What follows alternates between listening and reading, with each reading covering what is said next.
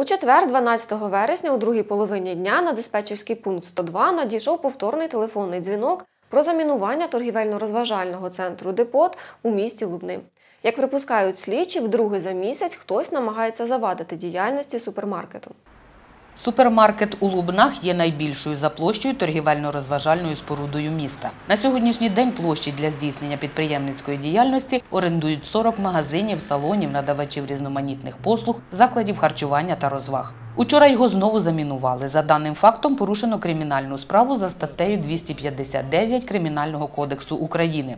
На місце події оперативним черговим одразу було скеровано спецпідрозділи міста, в тому числі поїхали працівники поліції, які спільно із співробітниками МНС евакуювали всіх людей, які на той момент знаходились в торгівельному центрі, а також забезпечували охорону місця події до прибуття спеціалістів вибухотехніків. Після прибуття спеціалістів вибухотехніків було проведено перевірку усіх залів в даному торгівельному центрі та не виявлено е, ніяких вибухових пристроїв. Після цього роботу торгівельного центру було відновлено повністю. Наразі правоохоронцями за обома фактами неправдивого повідомлення про замінування відкрито кримінальне провадження за статтею 259 Кримінального кодексу України, а саме завідомо неправдиве повідомлення про загрозу безпеці громадян, знищення чи пошкодження об'єктів власності. Відповідно до законодавства карається штрафом від 50 до 100 неоподаткованих мінімумів доходів громадян або арештом на срок до 6 місяців, або обмеженням волі на срок до 3 років.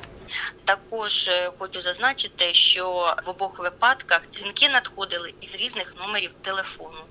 У четвер, коли стався другий дзвінок, у приміщенні торгівельного центру відбулося відкриття ще одного супермаркету, на яке прийшли тисячі лубенців і мешканців району. Як стало відомо, однією із версій слідства є чиєсь намагання завадити діяльності даного супермаркета. Найти бы до носа на, на разбитого.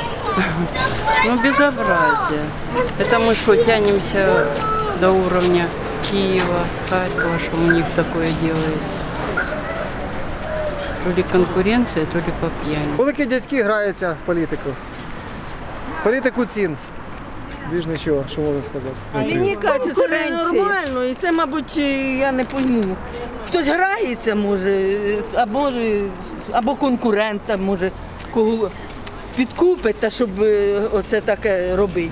Людей будуражить ото. Ну, комусь кучно.